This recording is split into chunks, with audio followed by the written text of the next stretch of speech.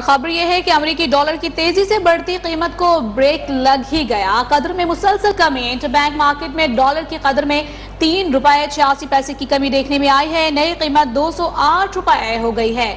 अमेरिकी डॉलर की तेज़ी से बढ़ती कीमत को ब्रेक लग गया।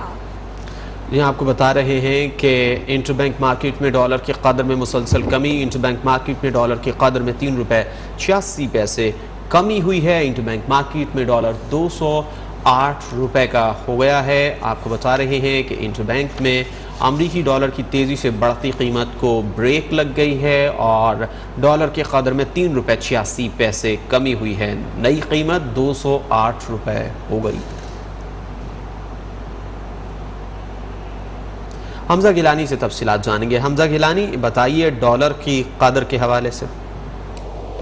जी, बिल्कुल, इंटरबैंक में डॉलर की कदर में कमी का सिलसिला जारी है। एक दिन में डॉलर की कदर जो है वो दो सौ ग्यारह रुपए तिरानवे पैसे से कम होगा, दो सौ सात रुपए हो गई है।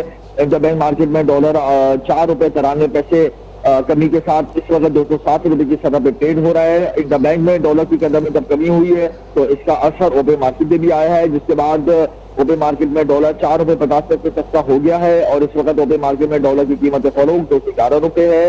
ओपे मार्केट में डॉलर दो सौ चौदह रुपए पचास पैसे से कम होगा, दो सौ ग्यारह रुपए की सतह पे आ गया है।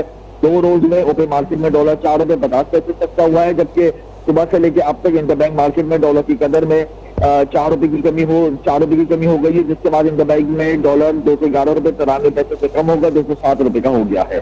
जी। हमजा आपका शुक्रिया।